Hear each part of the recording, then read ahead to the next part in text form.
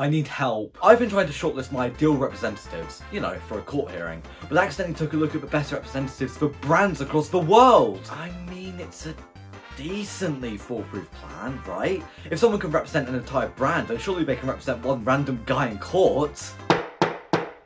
I got 25 to life. But Tony the Tiger told me that all things considered, this outcome was great. You ever think of Nintendo? Make a stop, make a stop, make a stop, make a stop, make a stop, make a stop, make a stop. Well, chances are, if you're thinking of the big N, a certain Italian is going to cross your mind simultaneously. Mario! He looks so normal, doesn't he? Mario is Nintendo's main man. They quite obviously have other IPs and characters that could maybe qualify as a mascot. Link, Samus, hell, even the Inklings are probably in mascot sales territory by now. But I don't think we'll ever quite see a video game character as universally recognisable as Mario maybe ever. But I should probably explain what a mascot is before jumping straight into them. That'll be like diving straight into the deep end of the pool without knowing how to swim. Like, I don't know what a Pac-Man is, someone get me out of here! A mascot is your frontrunner, just something that represents your entire company. It might be a singular character, or a franchise, or a series, just anything that makes someone think, yes, that is Capcom. When people think of Sega, they think of Sonic, for example. When people think of Nintendo, they might think of a character like Mario, or Link, or a series like Pokemon or something. With PlayStation, it could be Kratos, or maybe Nathan Drake, or maybe Sackboy if your entire life is rated E for everyone. And with Xbox... Um... I... I, um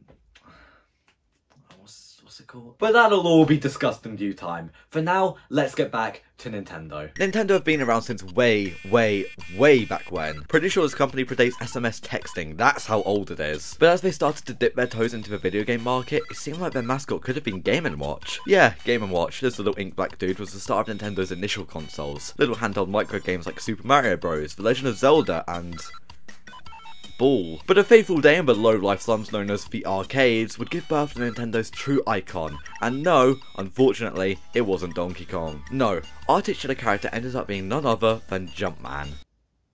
So we can jump.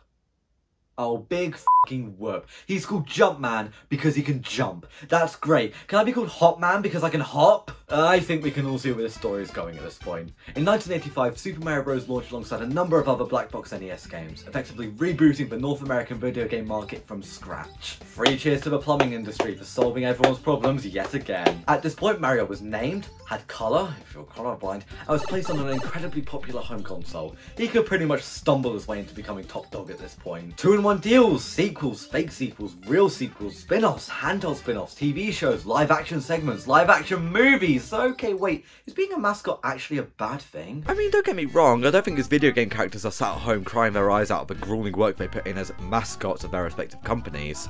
But think about the developers, for example. If you're a development team tasked with making a Mario game, you're gonna have eyes on you. Ubisoft developed games like the Mario and Rabbids series. Oh, hi, I'm introducing a Bill of Rights. It's called the Remove Mario and Rabbids Spark Some Hope from Existence so we don't have to pretend that Mario and Rabbids crossover game spawned a series Bill of Rights. It's for public safety. Normally people look at a Ubisoft game and go, eh, okay, whatever, and throw it away after using it as a placemat for the last month of its life. But when People's Precious Plumber gets involved, things start to get a little different. I might be absolutely eating my words here because Mario and Rabbids turned out to actually be two Please support the cause. surprisingly good titles, but I can think of plenty of examples where a new or alternative development studio mismanages a company's mascot, like Pokemon for example. Let's see here. Ah, Pokemon Scarlet and Violet. Released just recently in 2022, Scarlet and Violet were both criticised for insane performance. Oh, what was that? Oh, oh, these were the ones made by Game Freak. Christ. Modern day Game Freak isn't just a whole other can of worms. It may as well be the worm to end all worms. But recently, the Pokemon Company has been lending out the series to a number of other development studios to develop spin-offs. Or more infamously, remakes. Seeing how the Pokemon Company primarily put out a series called Pokemon, it's pretty hard not to consider them a mascot, especially when you see Nintendo's sales numbers regarding the franchise. So when a support studio like ILCA takes over one of the most highly anticipated remakes of the series, it raises some concerns. Yep, Pokemon Brilliant Diamond and Pokemon Shining Pearl. I don't own either of these games. My life. Oh no, I don't own two video games. Whatever will I do? The Diamond and Pearl remakes have been hounded after for what felt like centuries at this point. Immediately after the release of Omega Ruby and Alpha Sapphire, the Generation 4 nostalgia wave came and hit like crack. Constant speculation and begging for them as Pokemon Sun, Moon, Ultra Sun, Ultra Moon, Sword, Shield. I am starting to notice a problem. All of these games came out until finally, after a grand total of seven years of waiting, Christ, we're impatient. The main criticism of the game came from a chibi art style. It was more reminiscent of the sprite work from the DS games, and sort of maybe the early 3D games if you squint, but people interpreted it as a step back for the series, saying the game didn't add enough compared to the originals.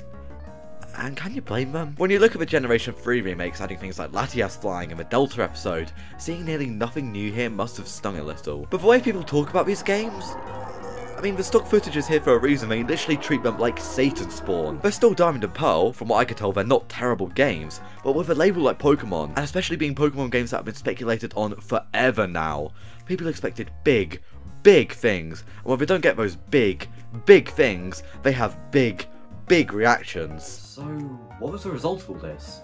Is this to tarnish the Pokemon brand? No. It's a Pokemon game. This thing could roll over, yawn, scratch its ass, and sell 15 million units. It's not special. It was ILCA's first ever solo project. If the only things you developed are Pokemon Home and Pokemon Brilliant Diamond and Shining Pearl, uh, just take a six month gap here and come back, dude. Like, that's not gonna get you anywhere. So when the Gen 4 remakes are received poorly and ILCA is to blame, people lose trust in those developers, and that becomes more of an issue for them than the mascot franchise itself. But, of course, things could always be worse. You could be the main developers of a mascot franchise and consistently make bad to decent games.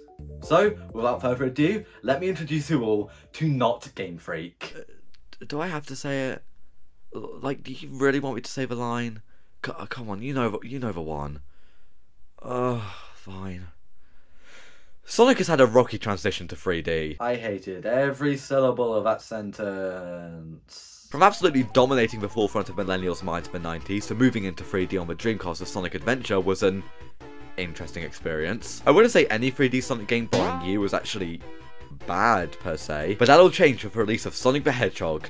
No, not the bad to decent to good to great game from 1991. No, not the bad to bad to bad to bad port on the Game Boy Advance from 2006. No, I'm talking about that Sonic the Hedgehog. Sonic 06 released as a pretty rushed mess to make a Christmas deadline, so Sonic Unleashed was released pretty quickly to try and save this IP. It was okay, let's move on at the speed of to Generations, which finally proved that 3D Sonic could work.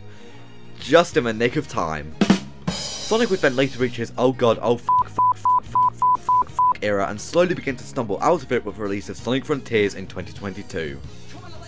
And even that was just like, okay. I know, the phrase has been beaten to death, brought back to life, and beaten to death again, but Sonic in 3D has really been rough, especially the ones developed by Sonic Team, the ones you'd expect to be good. Even they can be pretty bad. And Sonic is undoubtedly the mascot of Sega, so if his games can't find consistency, then that can reflect badly on Sega as a publisher, or even Sonic Team as developers. I'm truly relieved that Sonic Frontiers is a 7 out of 10 at worst, because for a while there, things looked like they were on the rocks for Sonic. Now, PlayStation on the other hand,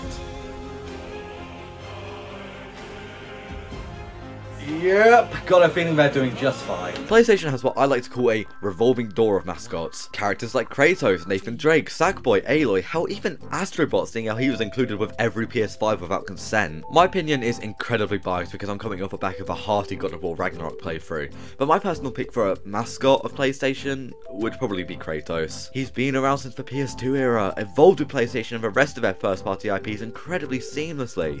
The only problem is its tendency to do this and that and also a few of these. That's another thing mascots sort of have to do. Be marketable. Something like Kratos may not fly with a wide, wide audience, especially if that wide, wide audience involves children. I mean, having a family's ash and blood stuck to your skin permanently is fine by me, but that axe looks a little PEGI 18 in my eyes. But even then, there's so many other IPs you could pick other than Kratos. Sly Cooper, Parappa the Rapper, Ratchet and Clank. So much PG content here on the PlayStation console. Please mind the blood. I swear to God, we're renovating. I think somehow PlayStation does this no one true mascot thing right. I mean, at least does it better than the alternative. Xbox really does feel like an odd one out when it comes to having a mascot. Even if I do feel like a Nintendo nerd saying this, It's just what I think. I mean, ultimately, it doesn't matter. Halo arguably works well enough as a mascot despite falling from grace in the last couple of years. And Game Pass is clearly showing people just how much variety Xbox has on their platforms. Like, holy sh! They got Power Wash Simulator on this thing. We gotta make this guy the face of Xbox! And after looking at all of that, I think I know who I want my next court representative to be. I picked the rabbit. And I got the chair.